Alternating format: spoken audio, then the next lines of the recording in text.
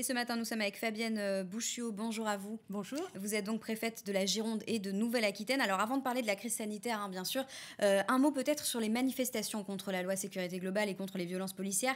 À Bordeaux, euh, ce week-end, tout comme le week-end dernier d'ailleurs, il n'y a pas eu de débordement, pas de pas d'interpellation. Est-ce que vous vous félicitez d'avoir pris un arrêté pour interdire l'accès des manifestants au centre-ville à Bordeaux?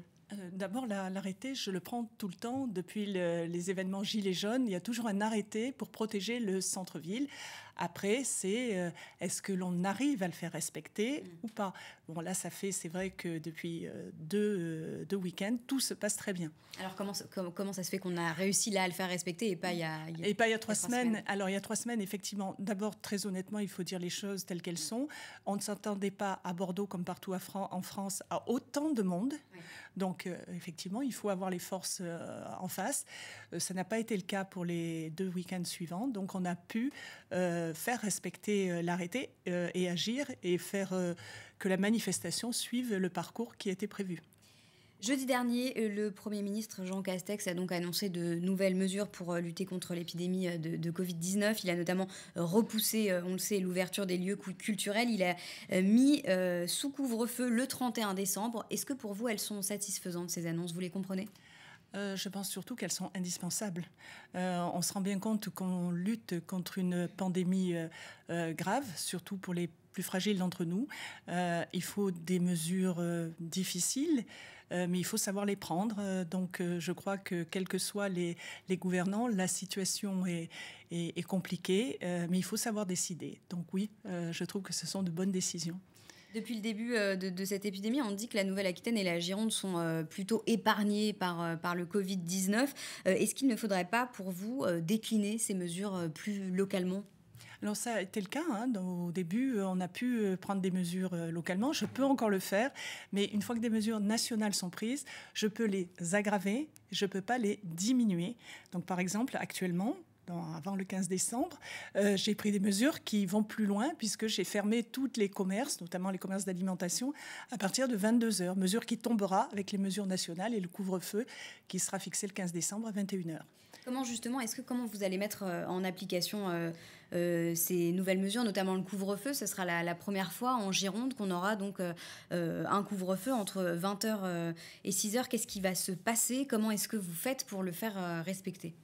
Il y aura des mesures de contrôle euh, dès 20 heures, euh, contrôle de police, euh, gendarmerie.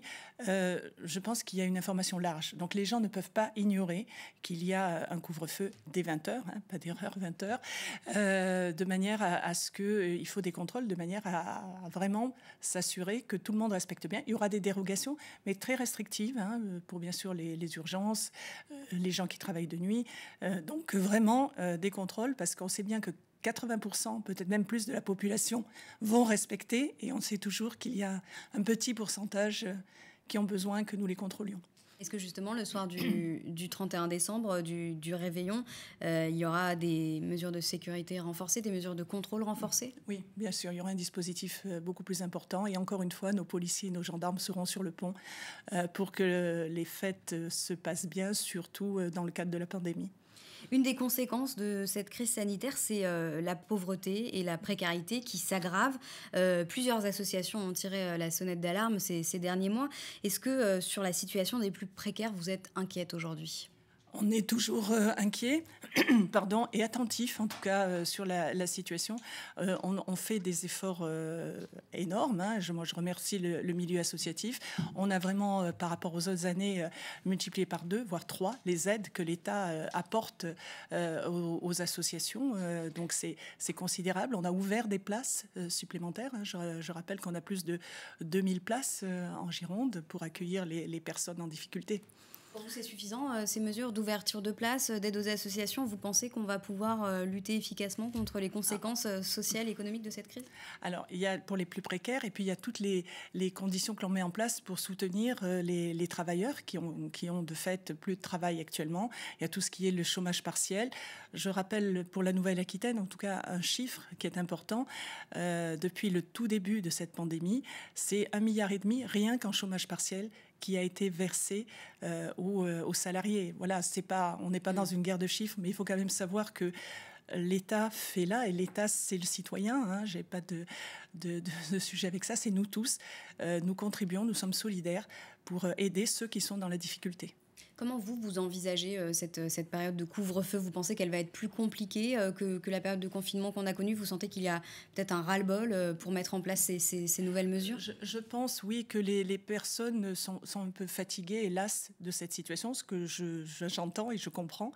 mais je sais aussi que les néo-aquitains et et les Girondins chaque fois qu'on leur explique, c'est ce qu'on essaie de faire, clairement les choses, euh, comprennent et sont plutôt euh, attentifs et plus respectueux peut-être que d'autres euh, des règles en vigueur. Donc c'est pour ça d'ailleurs peut-être aussi que nous avons une situation moins dramatique qu'ailleurs. Il y a des professions quand même qui sont très touchées. On pense notamment aux restaurateurs qui manifestent aujourd'hui. Vous comprenez que pour eux la situation elle soit, elle soit plus tenable aujourd'hui? Oui, je comprends la situation des restaurateurs. C'est pour ça qu'il y a des aides spéciales hein, qui, qui, sont mises en place et je les vois, je vois leurs représentants tous les vendredis matins. Donc nous discutons, nous adaptons de manière à leur apporter la meilleure des réponses.